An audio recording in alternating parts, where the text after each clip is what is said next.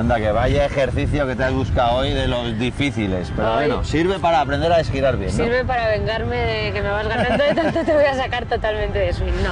Este ejercicio lo bueno que tiene es que cuando lo consigamos hacerlo bien nos va a enseñar a desgirar bien y a tener una buena sensación de giro o de desgiro de caderas, ¿vale? Venga, pues explícate. Fíjate, lo que vamos a hacer es coger un hierro 7 o un hierro cerrado y vamos a intentar hacer una especie de globo a unos 50 metros, como si fuera un golpe de san medio. Para hacer 50 metros con un globito con el 7 lo que tengo que hacer es abrir la cara del palo y ahora compenso con mi cuerpo, como hago con un san cuando voy a saltar un bunker.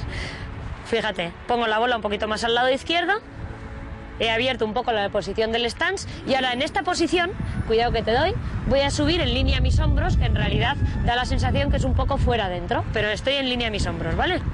Mira, de esta manera, aquí y cuando golpeo mantengo las manos acompañando de un desgire redondo. En todo momento, si yo en vez de desgirar perfectamente y mantener las manos, lo que hago es bascular, lo que voy a hacer es o darle al suelo o dar una especie de esa palabra que no queremos nombrar.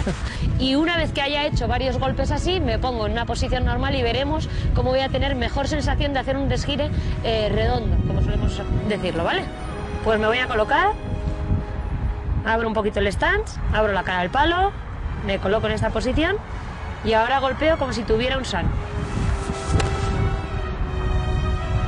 Mira qué chulo. ¿vale? Bueno, pues que se quiten los de mi derecha. que en fin.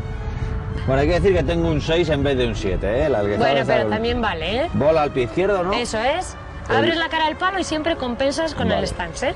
Vale. Y ahora, mantén las manos en el momento de golpear con el desgire. Eso vale. es. Venga, pues a ver si me sale. Y sin hacer el giro de manos, mantén bien las manos en esa posición, Vale. ¿eh? Como si estuvieras con un sal. Bueno, bien, no está muy bien. mal. Mira qué bien has desgirado, ¿has visto? Sí. Eso es. Y entonces, si haces unas cuantas veces esto, luego te pones normal y vas a notar cómo tu giro de caderas o tu desgire va mejorando. Y me ha salido a la primera.